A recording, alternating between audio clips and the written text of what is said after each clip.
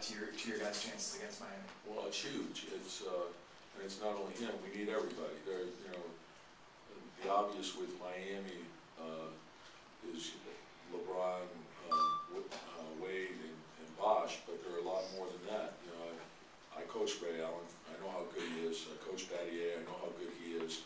I know what that team stands for. So we have to be at our best. We're gonna need everybody. They, they play as a team,